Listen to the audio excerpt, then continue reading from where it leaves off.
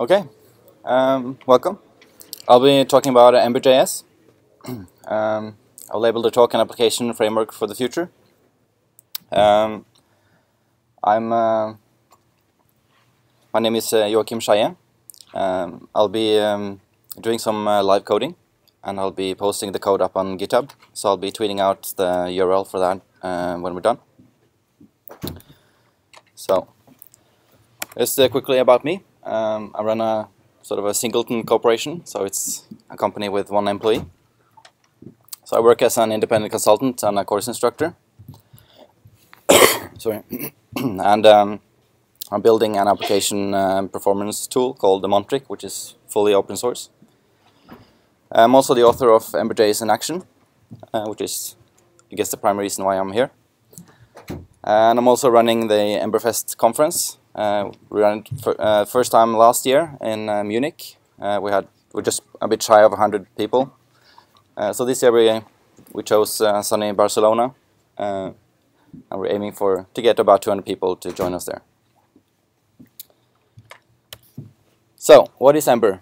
Ember is a single page application framework. It's built around the MVC pattern and is among the SPA frameworks, it has the strongest MVC pattern uh, built in. Uh, so I try to sort of lay out where Ember.js fits. Uh, so on the uh, left-hand side, you have the traditional websites where everything is a request and everything comes as a response, and you re-render the whole page for for everything. Uh, and on the right, you have um, more application type style web uh, sites or web apps. And it's really in in this area here where Ember.js is built to work.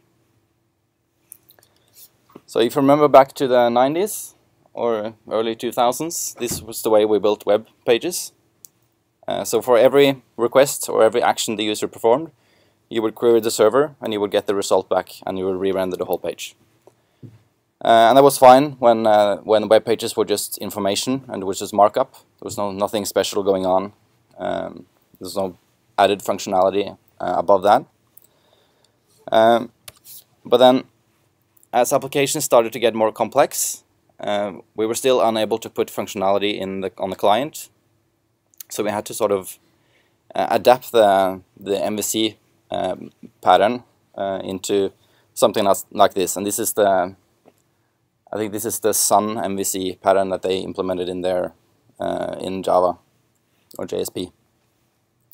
So while it's fully dynamic on the server side, it has this uh, sort of Chinese wall between the server and the client, and there's no dynamicity between the server and the client. So then we sort of got Web 2.0 with Ajax, and they promised us that we would be able to request a full web page on the initial requ requests, and then for any other requests, we would only get partial web page updates. So we will say we want this div to be updated and the server would generate that HTML and pass it on and we would only uh, replace that part of the DOM. And while that's a good idea, generally what we instead got was that we seldom want to re-render just a single element. We want to, say you add an item to a shopping cart, you want to update the, the item itself and you want to update this, the shopping cart and you may maybe have an overview at the top, you want to update that as well. And it's really difficult on the server when a request comes in to know which elements do you actually need to re-render on the client. Uh, so what they did instead, most uh, frameworks that deal, dealt with Ajax, was that they would ship the whole web page back anyways, and then the client uh, scripts on your page would find the elements with correct IDs and swap them out. So while you didn't reload the whole uh, application in the browser, you would still do the same amount of work for each request on the server. The downside is that now you do 10 times as many requests because you, for, for every little action the user does, you have to re-render the whole page on the server.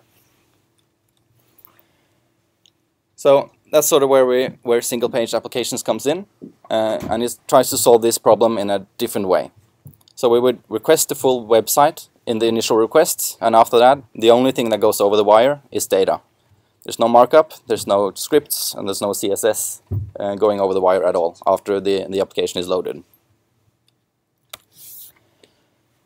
So Ember has a strong MVC pattern, and it enriches each of the layers of the MVC pattern with um, sort of a micro library uh, in itself.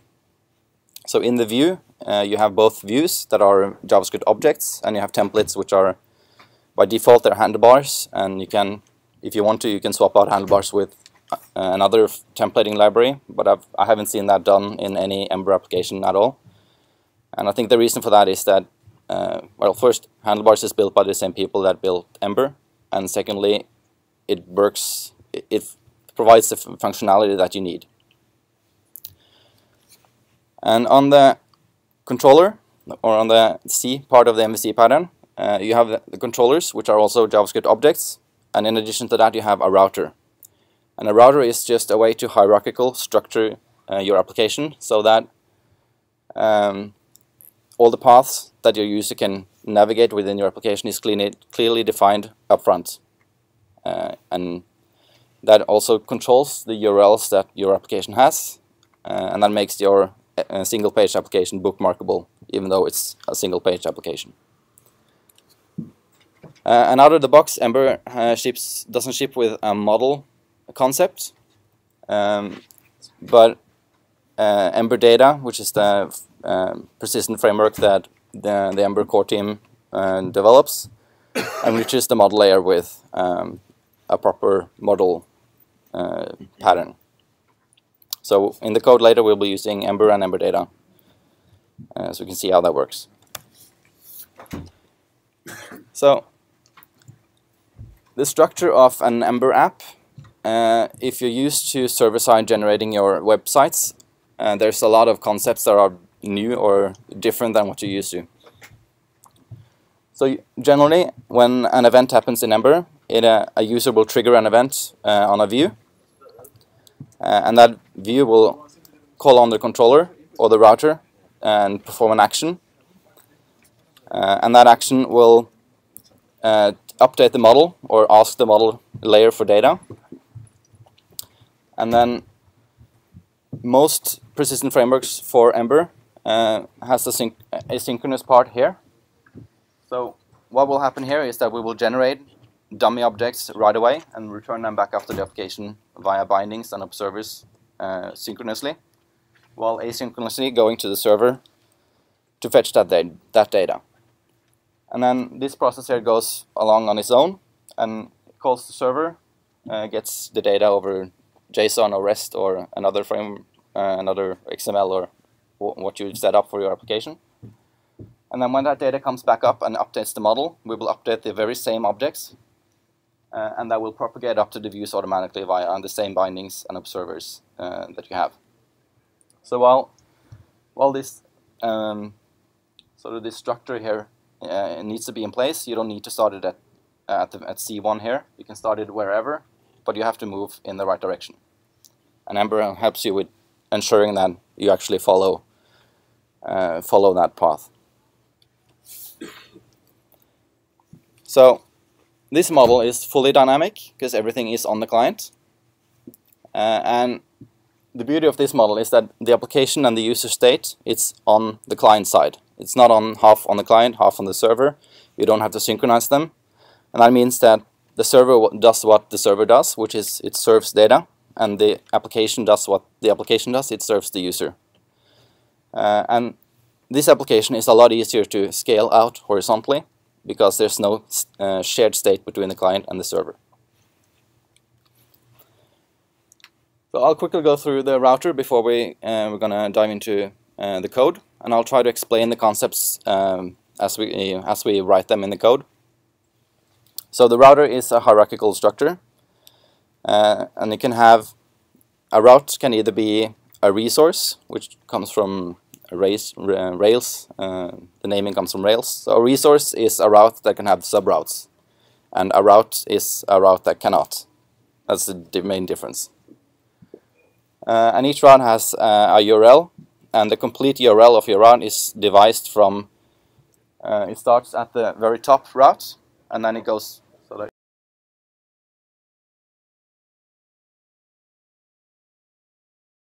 uh, edit the full URL will be slash customer slash edit. So we'll be building a simple CRUD application. Um, and if you were to split this application up in a server-side framework, uh, you'd probably do something like this. You have a header, you have an area on the right, left there that's uh, where you have buckets. In the middle you have a list of the keys that are in a bucket, and on the far right you have the keys. Uh, but in Ember you'd structure it like that. So you have an application route that encompasses your whole application, and that has a single subroute called buckets, which has a single subroute called buckets, and that has a single uh, subroute called key. So this is the way we'll uh, model that up in Ember. So LDBB is just the name of the application. It can be app or it can be anything you choose. Uh, and we'll go through uh, the meaning here uh, when we code it in. But basically it says, if you look at the second line, uh, you have a resource. The name of that resource is buckets. The path of that uh, is the URL that that bucket is going to belong to. And then the function is um, any subroutes are defined within that function, the third parameter.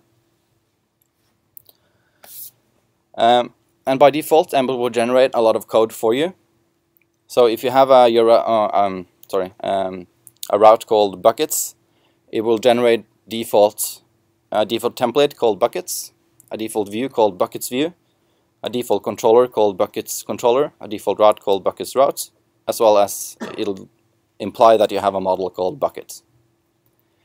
And you can override any of these if you want. So if you need any special behavior, you override uh, the correct class or the, uh, the correct template in order to inject your own functionality. Um, yeah, so this goes through the same thing. Um, this is also the bucket is also a resource, so it has the same uh, naming convention. The only difference is with the routes. And since the route is a leaf node, um, the naming of uh, the classes are derived from the uh, from the closest resource and then the name of the route you're in. So that for the key route here, all of the classes will be named bucket key because it belong to, belongs to the bucket resource. Uh, and I have a simple server-side um, implementation that we won't be looking at at all, but it has uh, this JSON data structure or data uh, hash that uh, is tailored into so that Ember data can understand it without having to uh, tell Ember data how to find the data. So if I ask for JSON buckets, uh, it will return an array of buckets uh, with the ID of buckets. And this simply has an ID and a list of keys.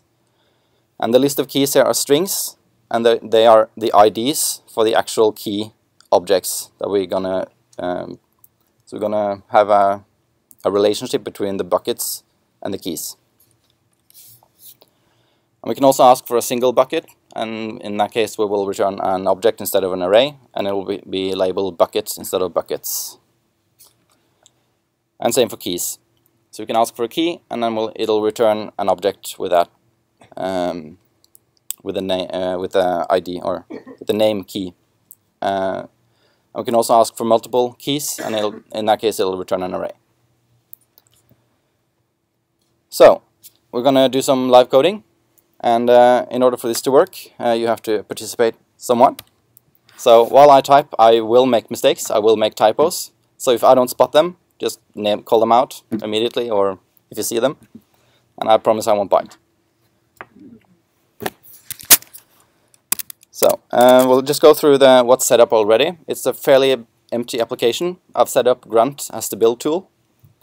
Uh, so I have a um, package.json file which has the name of my application, which I called LDBB, uh, which is hard to pronounce. I don't know why I chose that name.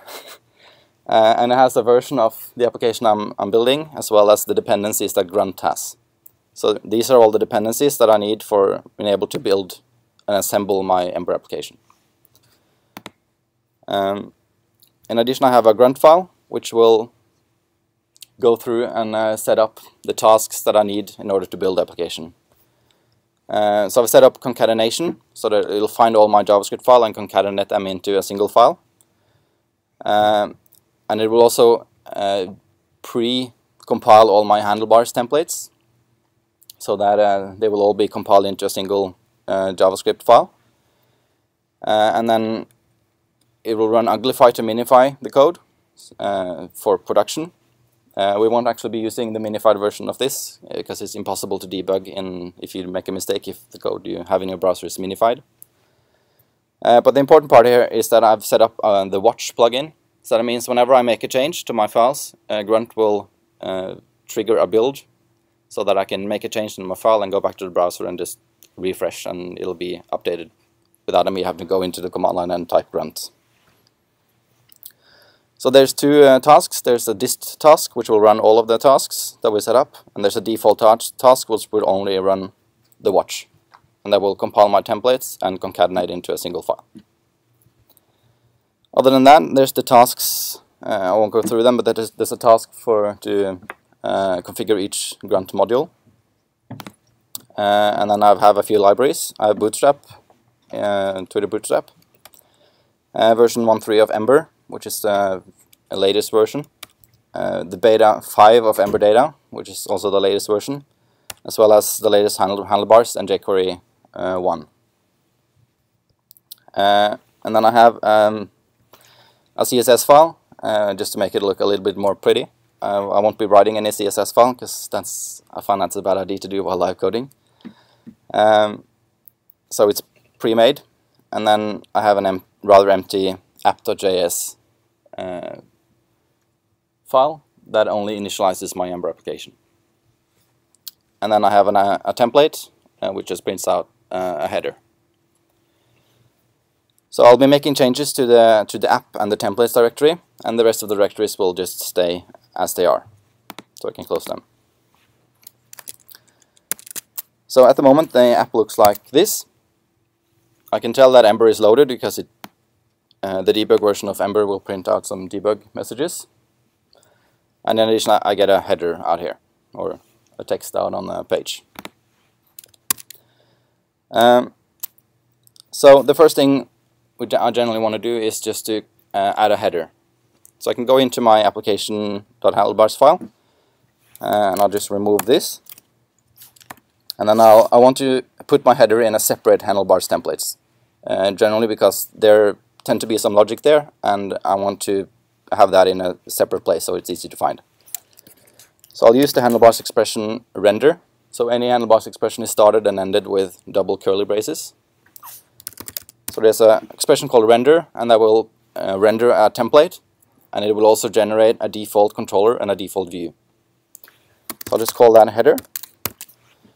So this here expects that I have a file called, or a template named header. So if I refresh my app, um, sorry, ah.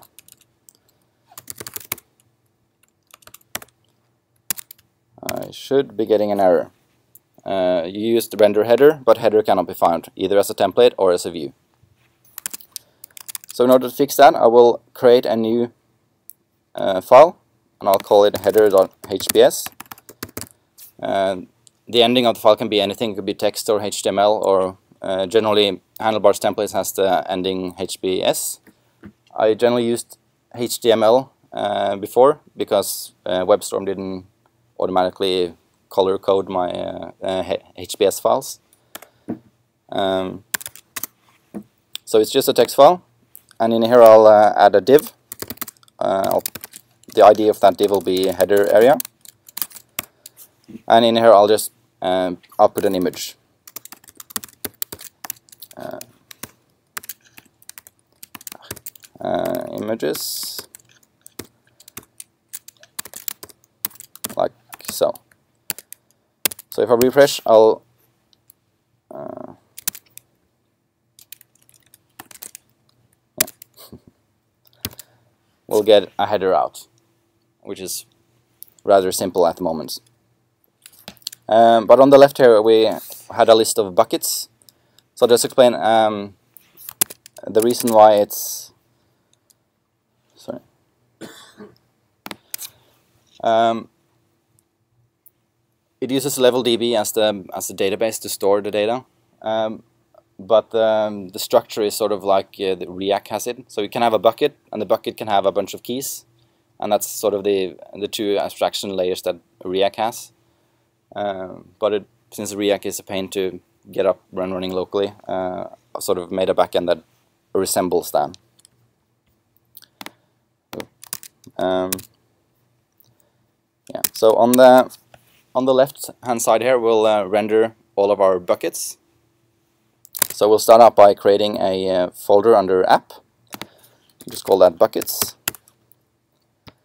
And under here we'll create a JavaScript file called buckets uh, route.js.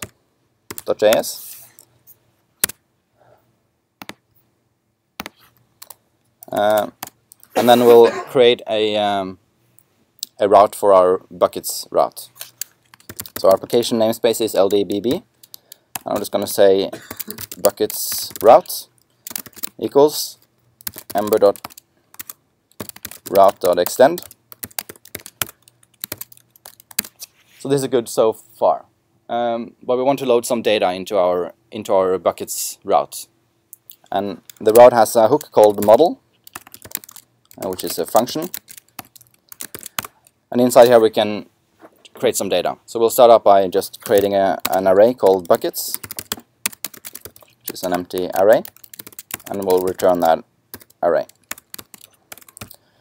And then we'll just add some dummy data. So I'll say buckets dot push object, and I'll create an, a new Ember sorry a new Ember uh, object. Uh, create. So this is how we normally extend and create classes in Ember. So if you want to extend the functionality and create a new a new class, you use the keyword .extend. And if you want to create a new instance of a class, you use the dot .create. And the reason for this is that once when you do this, Ember will set up any bindings and observers and functionality that Ember needs in order to to be able to propagate your changes out to your views as well as other stuff. Uh, so in this uh, object we'll just have an ID and we'll call it bucket1 and then I'll just create two more called bucket2 and bucket3. So now we want to create a, uh, a template to render something on the screen. So we'll create a template here called um, uh, and in here we'll start by uh, adding a header. We just name it buckets. And then we want to iterate over our models. And we can do that by using the each handlebars helper. Uh, and we'll just say um, bucket in controller which is the easiest way to say that I want to iterate over all the models in my buckets controller and I want to name each variable bucket so in here we'll create a simple div and we'll just output the bucket.id, which is the ID of each bucket. But so far we haven't actually created our route, so we need to uh, define the buckets route as well. So we'll create a, a new file called um, route.js uh, and we'll say ldbb.router.map, which is the uh, which is the, the way, uh, or the, which is how uh, the router is defined.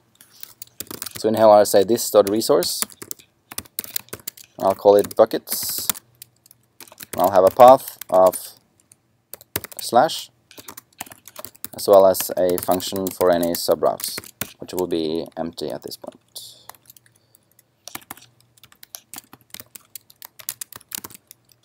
Uh, yeah, and this is the function. Like so. And the reason why I need to define the path uh, as slash is that the name of the uh, the route or the resource is buckets. So if I didn't have this path declaration here, the URL would be slash buckets, which is always the name of the resource. So hopefully I can refresh my application here and it doesn't show anything. And the reason for this is, is that we haven't told Ember where to render our application subtemplates. So to do that, we need to go back into the uh, application handlebars uh, template, and we'll just create a uh, div with an ID of main area, and then we'll use the expression outlet. And that basically tells that whenever you reach this point, this is where I want any uh, subroutes to be rendered into the DOM. Um, and I should explain as well, um, some expressions have a pound, like so, and some do not. Uh, the ones that doesn't are just simple expressions that doesn't have a content, or we can't define the content. Whereas the other, the ones that have a pound, uh, they're block expressions, so they can have content, and they will be end, um, terminated with a slash. Should be sort of familiar. Uh,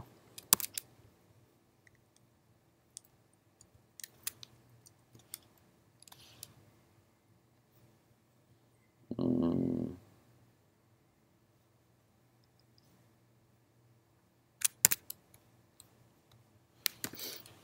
Oh, there we go. Just didn't refresh.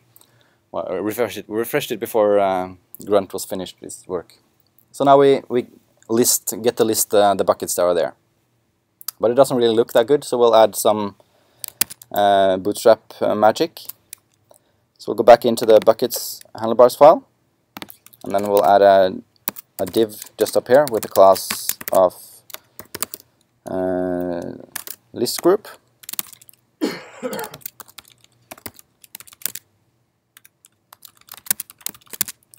and then we'll create a class of list group item for each of the items. So that should look a little bit better. But now what we want though is we want to be able to click on any of these and navigate into the subroute for, for that bucket. So just before we do that, we, we um, will connect the server side. So we can go back to our uh, buckets routes and instead of doing all of all of this manual labor here, you can call into Ember data. So we'll, we'll, we'll return uh, this dot store, uh, and Ember will automatically inject the uh, Ember uh, data into each route and each controller via the store property. Then we can say find and the name of our uh, model, which is going to be buckets. Um, yeah. But we don't have a model for our bucket yet, so we need to create one.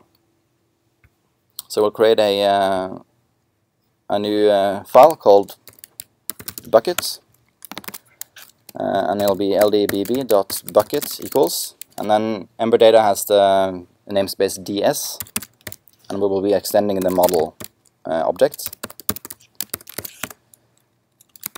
Uh, if we look back to the JSON, we can see that each bucket has an ID, sorry, an ID and a set of keys. So at the moment we don't have a key object, so we don't want we don't need to map them yet. And the ID is inferred by Ember, and actually it's uh, it has to be implicit, so that if I actually explicitly define an ID, Ember Data will complain and say that the ID is already defined.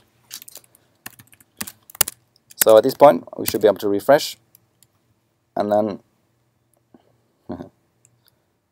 yeah, and then it says it goes, if you look at the URL, it's hard to see, but it goes to slash buckets, and if you remember, remember from the slide, the URL is slash JSON slash buckets.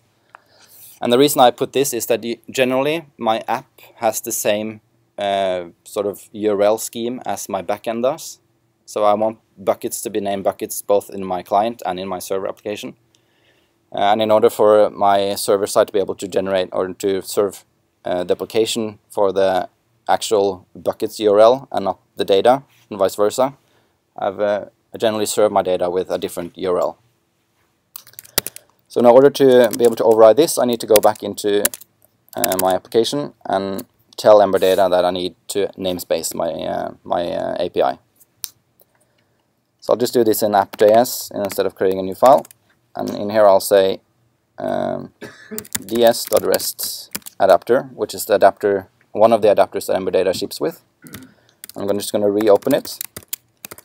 And I'm going to say namespace equals JSON. And hopefully that'll be all I need. No. yeah, and then I need to tell my app to use it as well. So that I need to create a, create a store. So I'll do lddb.store equals ds.store.extend. Uh, and I'm going to tell it which adapter to use. And this is going to be a string, and it's this string here, or the name of the adapter. And it's like that as well. Um, yeah, so there I get some data. This is just random artists from my iTunes uh, library. Um, so now I want to be able to click here and navigate into a subroute called buckets. So I'll go into my code. I'll go into the, the route uh, definition. I'm going to define a subroute called buckets. So resource buckets, and that's going to have a path. And the difference between the buckets um, resource and the bucket resource is that the bucket resource has a dynamic part, and that is the, um, in this case, the bucket you've selected. So I want the path here to be slash buckets and then slash the ID of that bucket. So you can say bucket underscore ID. And then also has a function which is any subroutes.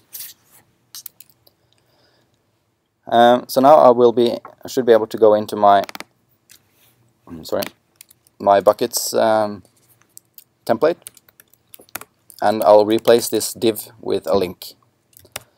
Um, and uh, Ember has a link helper called, or Handlebars has a link helper called uh, link to.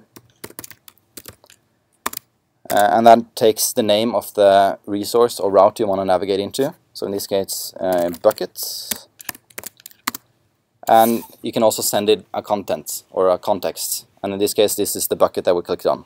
So that's also named uh, bucket from um, up in the each helper. Uh, and in addition to make uh, to the Bootstrap happy with the CSS classes, I'll just add um, the class definition here. And then inside here I'll still just print out bucket.id. So now we should be able to reload and click on an item. Nothing really happens in the user interface, but as you see the URL up here updates as I select the route. And that means that I can select a route and I can refresh and the user will come back to the application right away. And the reason why it takes a while before the page shows, it's because I've added to the backend for each call, I've added a one second sleep. Uh, and we'll come back to why that is, but it's just so that, because everything happens instantly when everything else on a local machine, so it's just a slow network. Uh, so the next thing here, we want to, this buckets uh, uh, area takes up the whole width of the page, so we just want to make sure that it only takes up the left-hand side. Uh, so we'll do that in here as well. We'll create a uh, div um, with a class of row, which is Twitter Bootstrap uh, classes. And we'll create a, div inside here, which are have a class of uh, col-md-4 uh, so Twitter Bootstrap has 12 columns in its setup. Uh, so in addition to these four columns, I just need to create the other eight. And then I'll move this code here inside the first here, and I move the I'm going to move the header as well inside of here. Uh, so hopefully it'll look a little bit better on the way we anticipated. So now we can move on to actually showing the content of the bucket on the right hand side here. So let's start with creating the model. so I'll create a uh, JavaScript file called um, oh, sorry, uh, no we actually don't need to do that yet. Um, if you look at the route we have a bucket or uh, sorry a resource called buckets uh, so we'll we'll uh, create a um, bucket route and a bucket handlebars template. So we'll create a folder in here called buckets. You don't need to create folders for uh, for your code, but it makes it a lot simpler to find them later. Uh, so generally, I structure the uh, the my code in the same way as I structure my router. uh, bucket route.js, and also the name of the files doesn't matter. It's just uh, I can read the name of the file and I can know where I am in my application from just the file name, which is handy. So I'll create a uh, bucket uh, route, and that also extends uh, Ember routes. And in here I'll also be overriding the model hook, or model function. Uh, and the difference here is that in our route we had a dynamic part here. So in our uh, route class we also get uh, a variable passed into this function.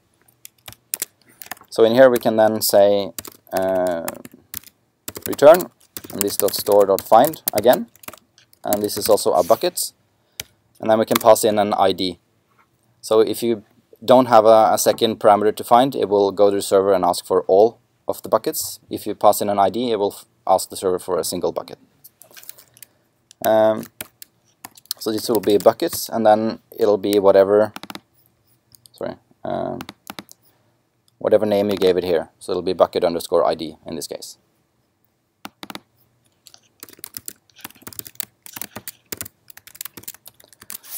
Uh, and now we can create a um, bucket template.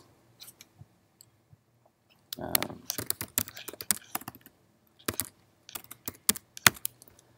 uh, and in here we'll just start out by um, writing out the ID of whatever bucket we are in. So in addition to that we need to also tell where our buckets route should render any subtemplates, which is in this uh, 8 span col column here. So do that with outlet. And now this should show which bucket we've selected here. Uh, but below here we want to show the list of keys that that bucket has. So in order to do that we need to create a model called keys and we need to um, set up the relationship between bucket and keys so Ember can find them. Uh, so we'll then create a uh, file called buckets.js. Oh, oh, we created it. Sorry. it's already there. Uh, keys. Thank you. So we call that key.js and we'll call the class uh, ldbb.key and that also will extend uh, ds.model and this model has a little bit more information. Uh, so if you look at the JSON it has an ID in addition it has the name of the bucket the name of the key as well as a value which is just a string. So the ID is already mapped for us so we need to create a uh, bucket name uh, property and then we need to define, we need to tell Ember Data what type of property is this. Is it a string, is it a number, is it a boolean? Uh, so we'll do that by saying ds.attr. Just somehow got became, uh, this is sort of standard between all the persistent frameworks uh, that you use .attr to define what type of uh, attribute it is. So this is a string, and then we have uh, key name, which is also a string, and then we had value, which is also a string. So now we want to create a re relationship between our bucket and our key model. So we'll go back into uh, the bucket, and then we'll create a um, property called keys, and then we need to tell uh, Ember Data that we this is a one-to-many relationship. So keys has uh, many, and in here we need to put to tell it uh, which um, which other object or which other model is this referring to. So this is key. And then we also need to tell it if are we uh, when we load our keys, uh, sorry, when we load our buckets from the server, are we also going to load uh, or return all of our keys that belong to that bucket, or are that going to be an asynchronous uh, fetch? And in our case it is, so we need to tell it that this is an async async uh, true. So the default is false, and you need to explicitly tell it that this is an async relation relationship. Um, and there's no semicolon. Uh, so then we should be able to go back into our uh, uh, bucket um, template and then iterate over our over the keys in our in our bucket. Uh, so we'll have the same structure. So I'll just copy these. This will be uh, six because they're going to be uh, taking half of the space that's left over in the in the on the page. And there's going to be another another one of these. So inside of this first uh, column, I'm going to print out the, the header, and then I'm going to iterate over each of my keys. So I can say key in keys, and keys here is then referring to the bucket keys property.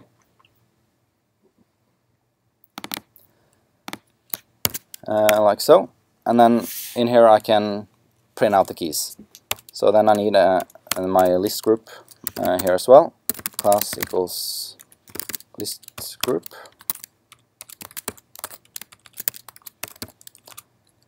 Uh, and in here I'm gonna do the same thing. Uh, so we start with a div uh, with a class of list group item and then in here we'll print out the key, uh, the name of the key, so key.keyname. name. So that refers to, refers to this property inside key here. So at this point, hopefully, we should be able to refresh. And hasMany is not defined. um,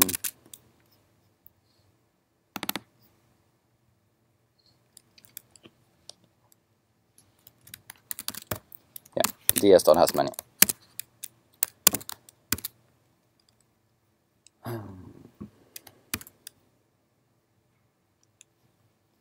So it takes a second to load because the server uh, adds a second delay. So at this point we will we will list each of the um, each of the albums that each of these artists has, or at least some of them. But when we refresh it it takes a second before any, anything happens. So that's not really that user friendly. So we'll just let's add um, a loading indicator. And uh, in Ember 1.2 they added a a default sub, uh, sub route called loading that you can override uh, in order to override this behavior here. Um, so we'll just create a, uh, a template here called uh, loading. Uh, and the reason for it being in the top directory here is that it, it it's uh, the sub route for the, the top level resource buckets um, so we can have another one for, if we had, uh, later we'll add one for bucket as well. And we're going to add that inside a folder called bucket, so we can separate out the loading indicators. Um, so I'll just type out loading for now. Uh, and that should be all I need to do in order to get the page to say that it's actually performing an action. Um, so let's make it look a little bit more I don't yeah, I'll just see if I can find the, um, the HTML for the Twitter loading bootstrap loading indicator.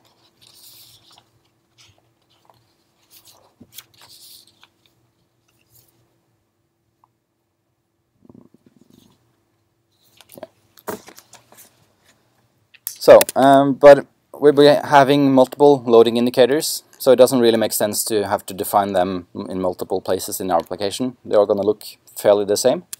So what we'll do, we'll create a component that has our loading indicator. And we'll do that by creating a directory called components. And in here we create a, a template called uh, loading-indicator.hbs. And any components in Ember needs to have a dash in them uh, to be compatible with ECMAScript's uh, six uh, web components. so that it, you don't have to change all the code when, when that becomes available. So in here we'll create a div, and then it has a class uh, which is progress, uh, progress striped, and then it has another div uh, with a class of progress bar. Progress bar success which is makes it green. Um, and then it has a role of progress bar. And then it has an area value now equals something we'll say 40 and area value min equals 0 and area value max equals 100 and then we'll just make it so that it fills the whole area. So it says style equals width 100% um, yeah. And this takes a span class. Sorry? Ah, thanks. There. Uh, which is SR only, and it takes some text. So, uh, what Ember will do now when it boots our uh, Ember application is that it will find any templates that are uh, hash um, components slash at the start of the name, and the name will be derived from the folder they live in. And it will create a component. And what that does, it will create um, a, a, template, or we will use the template of with the same name as our uh, handlebars template. So we will create a component called loading dash indicator, and it will also create a handlebars, uh, sorry, an, um, a custom handlebars expression, so we can access access it directly. So now we can replace this loading here with uh, loading indicator. So that makes it pretty simple to create new components and to have components that are re reusable. Uh, and components are also um, not, uh, they won't um, inherit controllers or views uh, from where they are defined, so they'll each component will have their own sort of, uh, they'll be self-contained. So if we refresh now, hopefully we'll get a, um, um, at least we'll get a, um, a loading indicator. But we really we wanted it to be inside the the same area as the buckets because that's the loading in that's where the loading loading indicator lives. So inside of our loading here, we'll just uh, for now we'll just fake it. We'll just say class equals uh, row, and then div class equals call md4 and then we'll put the loading indicator inside there. And then hopefully it'll look a little bit better. Um, so see how far we can get in 10 minutes. So now we want to be able to select uh, well actually uh, it'll be exactly the same as we did so far. So let's do some something else that are a bit more interesting uh, let's add some code to add a new bucket to our system. So we'll uh, go into our um, uh, buckets uh, handlebars file and then just underneath here we'll create a button. So the button will be class equals btn, btn default to color it white and it'll say add buckets. So now uh, whenever we click this button here, we want to perform an action. Do this with the action helper, and that has a name, so we'll call it uh, add bucket. And we can also send in a context, but in this case we don't have a context to send in, so we'll just uh, we won't have a third parameter to the action. So that means we can either add uh, an action to our routes, a buckets route or buckets controller, Generally, I, I like to add my actions that are not data bound to my controller and any data bound actions that sort of needs to call on the um, on the model layer in the in the route. So then I'll add um, a file called sorry a JavaScript file called buckets controller.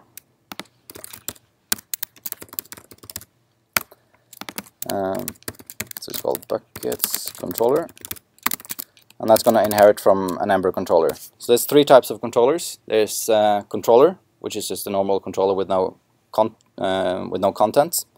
There's an object controller, which is a proxy for a single object, and there's an array controller, which is a proxy for an array. And since we have an array of buckets here, we're gonna extend the array controller. Dot extend, uh, and then we can create an action an actions uh, hash or an object, an action hash, like that. And then we need to name our action, which is add bucket, and that's a function. So in here we need to do to uh, have enough code to be able to tell our view to show uh, something where we can input the name of our bucket. Um, so we'll just say this dot set which is uh, Ember has get getters and setters for everything, so you can't do just dot to be able, able to get and set properties. And the reason for that is that Ember will know whatever your, whenever your data is dirty, it knows that, so it can act upon that and propagate uh, bindings, or it knows that your models are dirty and so forth. So we're just going to set a property on our controller. I'm just going to call it um, uh, show add bucket. I'm going to set that to true.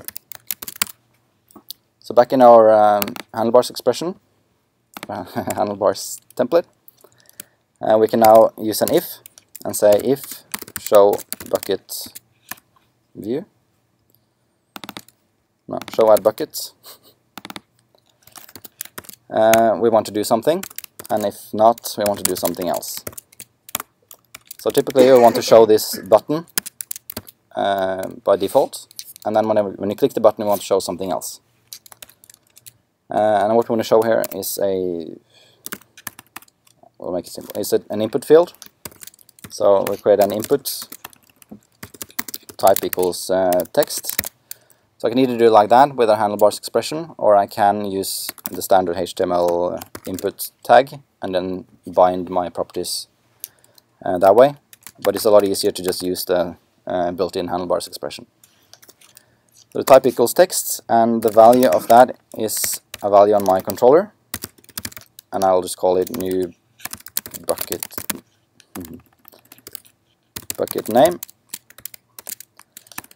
Uh, like so. And then I want to add a button.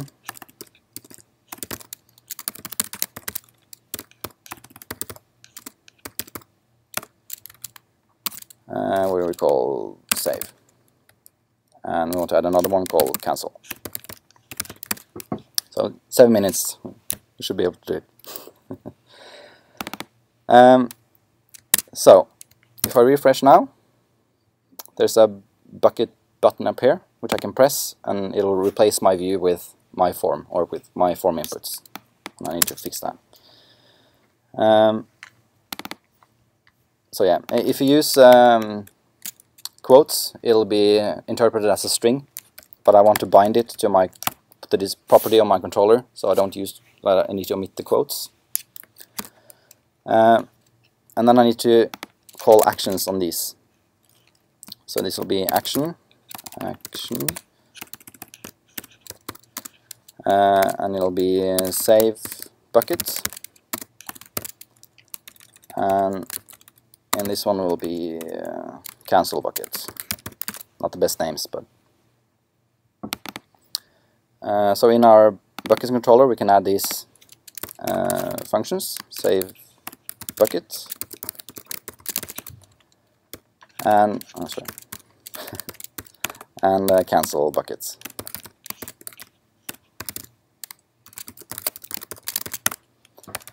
So in these uh, two functions we want to do the inverse of of this. We want to, whenever you click either of these buttons, you want to show the form again or the, sorry, the bucket again. Uh, and in here we, we want to actually persist our model. So what we can do here is say this dot sorry, this dot store dot um, create record. So we need to create a new record of type buckets. I need to provide you some data. So in our case, we we only have an ID or the name of the of the um, uh, the name of the um, bucket. So we'll say um, ID equals this. Dot, sorry. Uh, first, we need to get create a variable with our with the name. So we'll say bucket name equals this dot get, and this in this context context is the controller. So we can say uh, new bucket name, and in here we can do like that. So we'll so this will return a new object for us. So we need to do um, to put that in a variable, or we don't need to, but we can. And then we need to save it, and that's simply in uh, in uh, Ember data. It's the model name and dot save, and that will persist our data onto our uh, server, and uh, depending on the um, HTTP status code you get in return, uh, Ember data knows if it's okay or if it's in an error state or similar. So hopefully, yeah. And in addition here, uh, I want to do. I don't. Sorry. Um, yeah, and then I'll just want to reset my uh, my bucket name to an empty string or a null. Yes. Thank you. So hopefully now we'll be able to refresh. And we can go in here and we can type some stuff. And we can click cancel to do nothing. Or we can persist it. So I'll call it new bucket and save. And it ooh. yeah there's a bug on my uh, server side. We'll fix that. Well we won't fix that but it doesn't matter. So we can refresh here and you can see that it's been added on our server side. But as you can see as well uh, when we type something in here and type save it's added immediately. Um, and what we really want to do is we want to add it whenever it's uh, returned from the server. So all of the functions in Ember Data uh, returns a promise. So here I can say then uh, which is takes a function. This is a standard uh, sort of promise implementation and this will we get some data in return. And when this happens uh, this is where I really want to um, to reset my uh, the new bucket name and uh, show the bucket in the, or hide the form. Like so.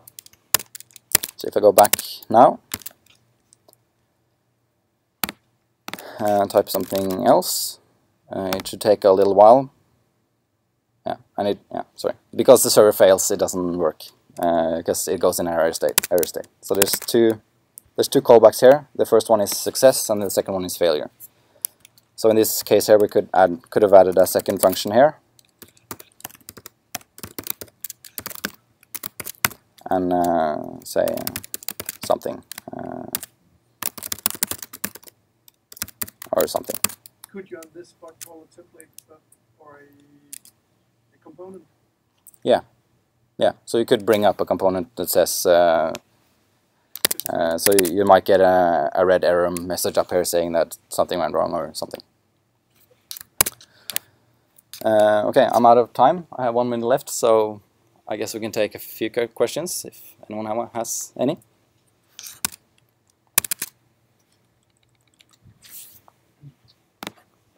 Yeah.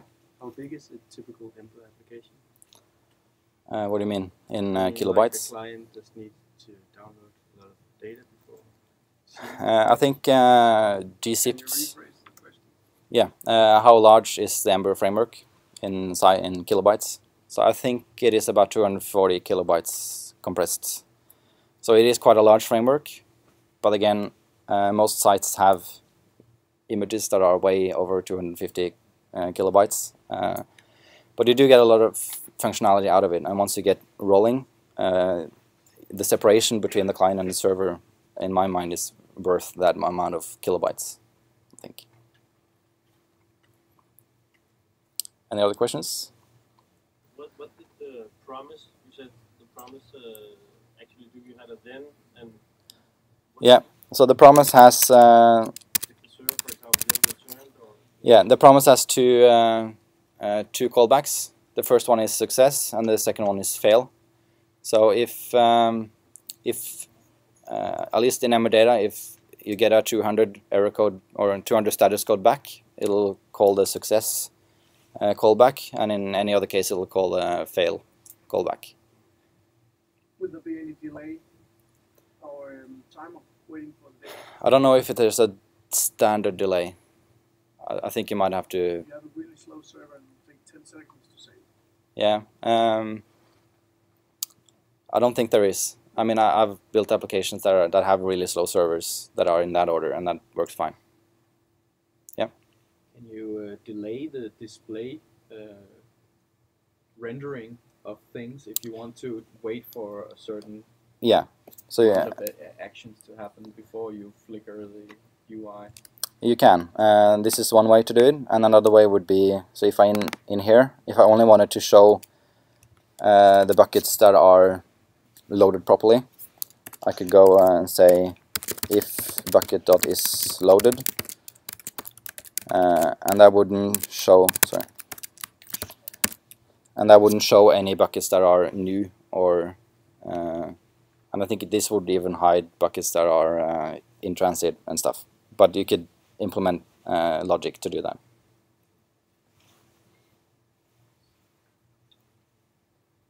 Yeah.